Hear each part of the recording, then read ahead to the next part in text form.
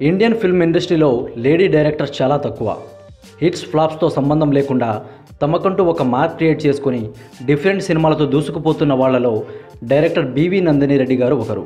ఈ lady director తీసిన hits and flop movies ఏంటో చూద్దాం రండి. అలా మొదలైంది. Blockbuster hit Jabardasth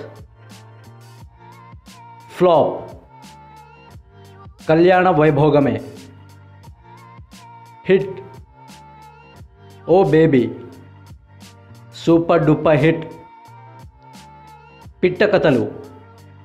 ఇది ఒక యాంథాలజీ ఫిల్మ్ దీంట్లో ఒక పర్టికులర్ స్టోరీని డైరెక్ట్ చేయడం జరిగింది. ఇది ఓటీటీలో రిలీజ్ అయ్యి యావరేజ్గా నిలిచింది. ఇంకా మే ఎయిటీన్త్న అన్ని మంచి శగునములతో థియేటర్లలో రాబోతున్నారు. ఈ సినిమా పెద్ద హిట్ అవ్వాలని కోరుకుందాం. సో ఇది గైస్ ఈ వీడియో మీకు నచ్చితే లైక్ అండ్ షేర్ చేయండి.